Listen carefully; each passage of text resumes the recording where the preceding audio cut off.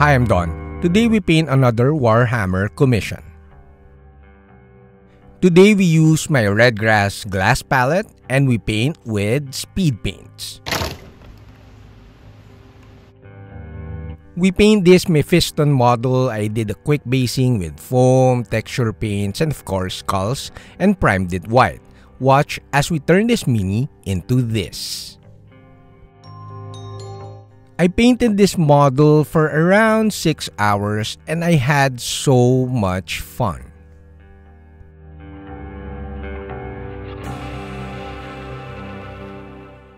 Hi, I'm Don. Welcome or welcome back to my studio.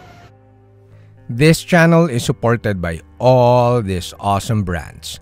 And of course, this channel won't be possible without the support of my patrons. This is only my second miniature that I painted with speed paints. The first one has no video but has a ton of photos at Patreon. So I'm not really sure what I'm doing here right now. I'm still learning how to use these paints. This painting method or process is totally the reverse of what I'm used to. Usually, I like building up the colors from black primer or even dark foundation like sepia underpainting, purple underpainting, and basically build up thin layers of colors or paints and I call it glaze layering. First off, this video is not a tutorial because I might get another comment saying that he learned nothing or whatsoever. and also, it's important to note that I bought these paints, like the Speed Paints 1.0. I just had to try it because I was aware of all the debate and even the cursing in between some accounts about the paints, about the reactivation issue, which I never experienced. Like, I'm pretty sure there is, but then again, I think because I'm aware of the supposedly issue and also that I like painting with oil paints once in a while, uh, it's kind of impossible for me to rub off the previous layer because I know that there's this reactivation thing.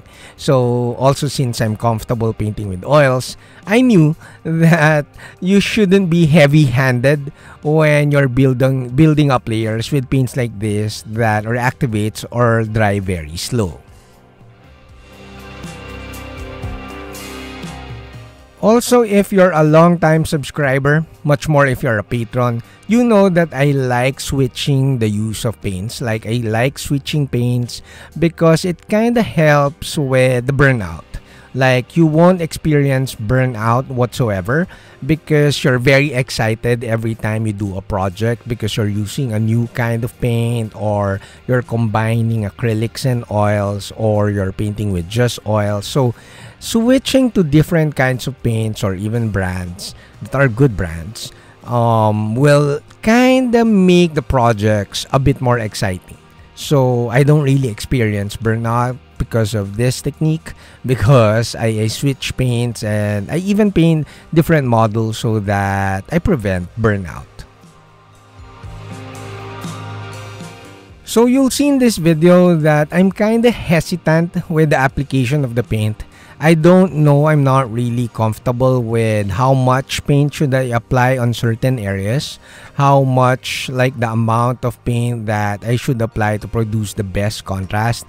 But I think my first impression is that you apply more so that more paints will go to the recesses. But then again, don't do like too much like avoid too much pulling because that's not good in like any kind of painting. But then again you should be very aware of the amount of paint so that you create those very nice subtle edge highlights. At the same time you create nice contrast with these paints I do not like hmm, comparing brands like this one compared to contrast paints or even with express colors at least here at YouTube and because I'm not comfortable I don't really want to say that this is better or I enjoyed this better. However, I did said a lot of those stuff at the Patreon video. Now you can see the tabletop quality of the painting. It's pretty good. It's ready for gaming or playing. Although I have to do a little bit of detail painting. And I'm, I'm looking at these paints as like the airbrush. Like if you have a certain area that is dominantly in one color like red, you just paint it with speed paints or airbrush and then once you're done, you do the detail painting with war paints or other paint brands. So it's a matter of just creating a process I think to make your painting a bit more efficient.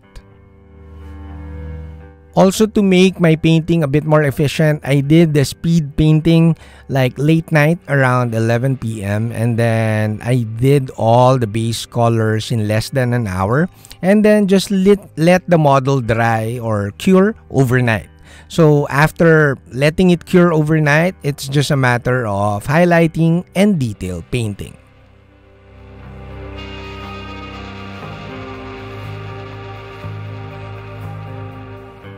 Now, Army Painter's motto or marketing like thing is that you will paint faster. You paint faster with speed paints or army painter so that you have more time for gaming.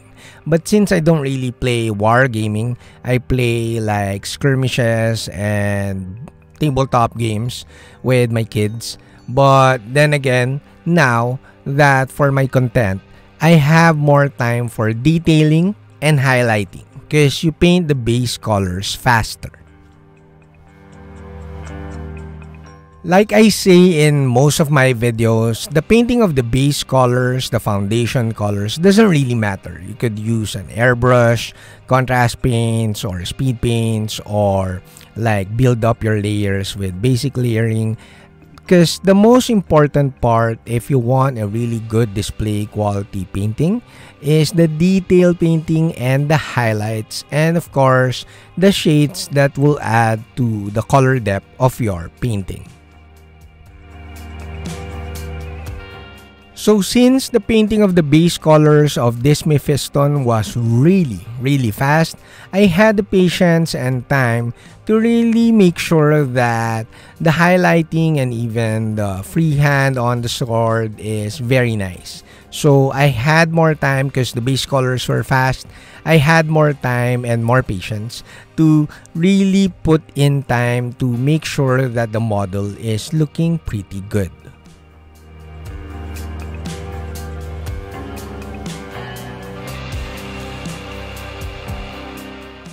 Now, before our reveal, a ton of thanks to all my patrons. Without them, this channel won't be possible. So that's it. I'm very very happy with the result of this Mephiston painting. I'm sure the client will be happy too, hopefully. And I learned a couple of things like I need to get comfortable with the amount of speed paint that you should apply on certain areas. If it's a big area, use a bigger brush and apply more paints. And then make sure that your process is efficient by painting late night so that the paints, the speed paints will cure overnight and then you could do some detail painting and highlighting and you'll be done by noontime.